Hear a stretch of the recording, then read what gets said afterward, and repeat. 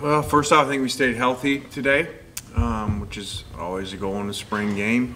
Um, you know, having a season of COVID, uh, I just wanted to try to make it as fun as it could be for players, for fans maybe that hadn't had an opportunity to come that were there today. And so it seemed like the guys had fun. You know, Matt played well um, with the top three receivers there until we pulled them. So that was good to see. And defense had some turnovers and played really well at times. So, um, you know, it was it was a cool day. It was really cool that um, baseball had the big comeback win uh, right before we started. You know, which was which was neat that it happened to be on when we were finishing up warm-ups. Who's gonna start us off for the first question? Please raise your hand, I'll call on you. Nick, go ahead. Lane a couple of long looks at uh, Kincaid and Altmyer today, just kind of what you see from those guys when they got the chance to play. Um, you know, they didn't have the top guys when they were in there, which obviously, as you can see, makes a difference for anybody. But um, you know, we'll watch the film on that. You know, they they made a few plays in there, and um, you know, at times um, had some plays maybe where some receivers could have made them that didn't make plays. You know, that would have helped them statistically. But um, you know, just wanted to get them. Even I think they both were both teams at times too. Parrish?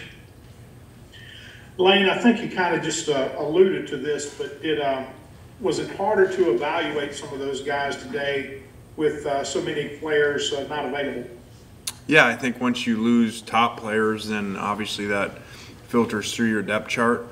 And, you know, so sometimes those guys, you know, are with some twos, you know, that are really normally threes or fours.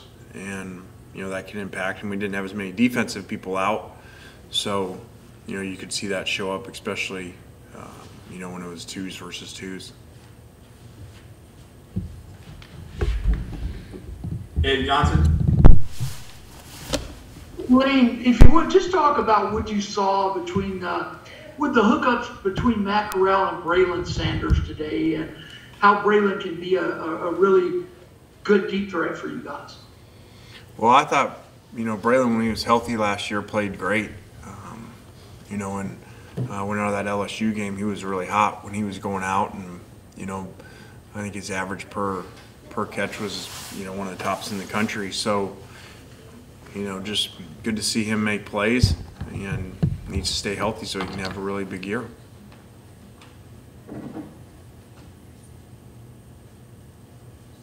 Tyler? Lane, did anyone in particular stand out to you that we might have missed today? Um, I don't know that you would have missed. You probably could see as as well as me. Um, so, you know, I thought um, 21 Walker, you know, did some really good things uh, with the ball. You know, we have some guys that, I mean, some of the guys you saw today, like, were not even here a week ago. So, um, we had some tryouts and just found some guys. So, uh, interested to see those guys thrown in there and, you know, in the spring game. Nick Son?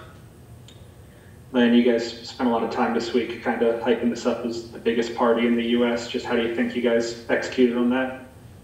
Well, I don't think we probably um, were the biggest in the U.S. Um, but our guys had fun. They had a good time before, and um, just you know trying trying to make it fun. And I thought that uh, you know stuff before was pretty cool, and the coaches got into it. Um, you know, dressing up and all that. So I don't know if I was watching, I'd say that's a fun place to go, and so I'd go there. John, go ahead. Lane, you talked about how this spring you guys were looking much better defensively. Did today kind of look, you know, like do you think all the spring practices kind of led to your guys' defensive uh, performance today in terms of progression, and how do you think the defense has kind of progressed up until this point? Well, it's kind of a weird game too because things are mixed, and you know it's not just all ones and twos, and so uh, it's kind of hard to, to evaluate that way. And then you know those top receivers, you really weren't supposed to really tackle, and that's why they were in different colored jerseys. So and that probably made it a little harder to cover them, you know, so um, I look at this, the spring as a whole that, you know, I think we're a lot, we're much improved on defense. Parrish?